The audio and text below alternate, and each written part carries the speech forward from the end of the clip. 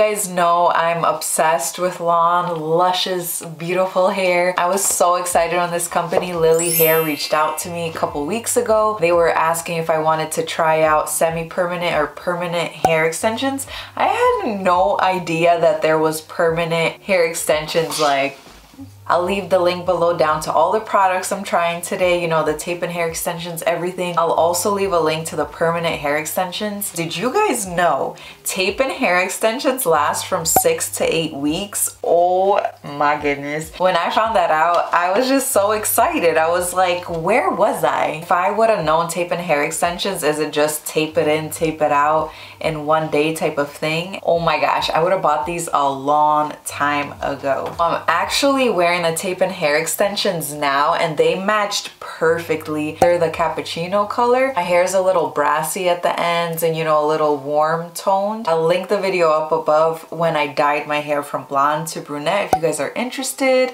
The hair dye will be linked. All of that stuff will be linked right in the description. I've always always wanted to try tape in hair extensions. I was really interested in how do they work really but I never had the courage to try it. So I'm so thankful for this company reaching out to me, sending me these tape in hair extensions. They are such great quality. It's 100% human hair. It's virgin hair. So that means it's never been colored, nothing like that. This is the package that came.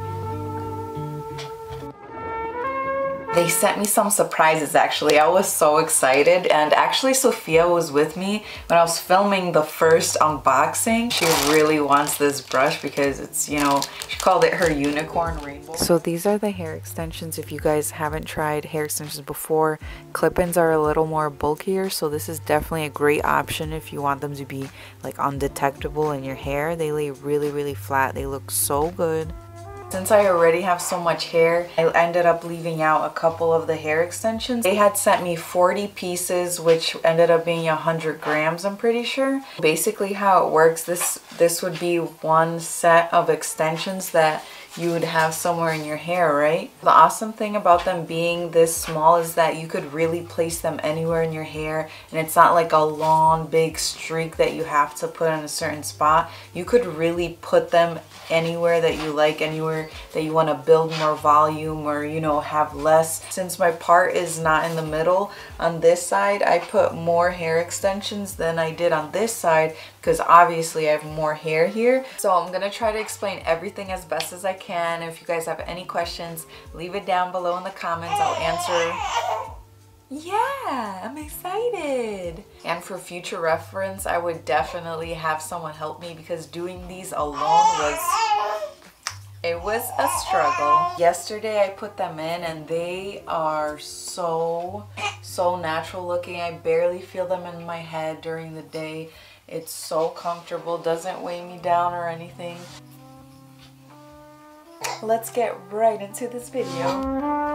Okay, this is all the hair they sent me. It was 40 pieces that ended up being 100 grams for all of them. That's the hair tool I'm going to use at the end. Super cute. I'm going to link it down below. Alright, your girl was super nervous. Okay, so I parted my hair on the left side, on the right side, and you're supposed to just leave the back out from what I've seen.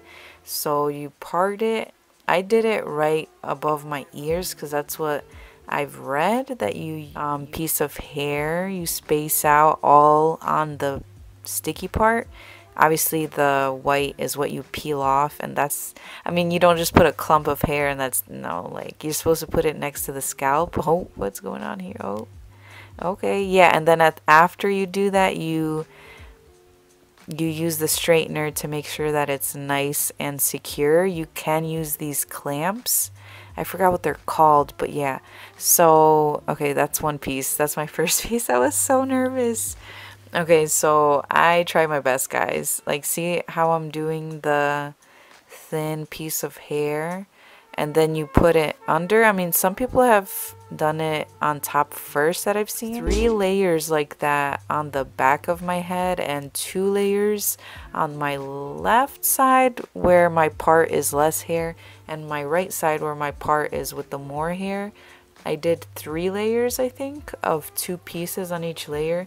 But yeah, so you're supposed to um, put the tape in hair extensions right next to like how do you call it? The part you put it really close like a centimeter I think below your hairline. Just wait does that make sense? Trying to explain to you guys best I can because I know this doesn't look that good to be honest. But yeah okay so you put one you get a thin streak of hair right? And then you put the tape in hair extension under it like I think I'm doing there. I think I'm aligning the two pieces at that point.